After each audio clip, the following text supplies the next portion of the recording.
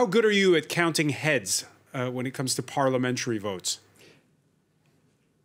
Uh, not terribly good, but I have it on uh, from talking to colleagues down the other end of the building in the House of Commons that uh, the only sign of shift since the last vote is one or two people who previously had shifted in Mrs. May's direction, now hardening back. Uh, and there were, she had in last night uh, many of the 40 people who had shifted in her direction, uh, and they were almost unanimous in telling her that now they would prefer to leave with no withdrawal agreement rather than continue on her probably doomed attempt to get her withdrawal agreement settled. Today's so, Thursday, though, uh, and uh, some of them will actually. Today's Thursday. Uh, we've seen the pound. The, the pound has started to fall. That must be concentrating the minds. What uh, between now and Monday could those forty votes and uh, well, what are we talking about? Another hundred and ten shift back, and where would she get those votes? Well, seventy-five would have to shift back, I think, so, uh, to for her to win. I, I just don't see that happening.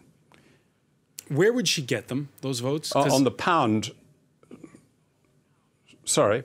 Where would she get uh, the votes? Where would, would she, would get, she get them more from the hard Brexiters or more from Labour Party supporters? Well, she'd obviously hope for a mix of the two. I just don't see her getting either.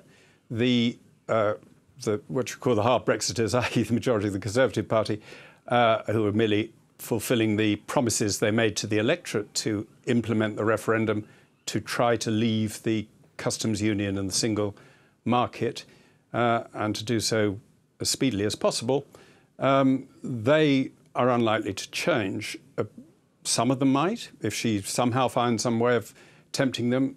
But the Labour people who might, in some circumstances, be tempted to support her deal from seats which have a large uh, leave majority, and they just want to be able to say to their voters, well, at least we didn't stop us leaving, uh, they will only do so if they're sure that the measure is going to be passed because they don't want to look stupid as having sort of broken with their own party but failed to get the second best solution which they think uh, this deal passing would be.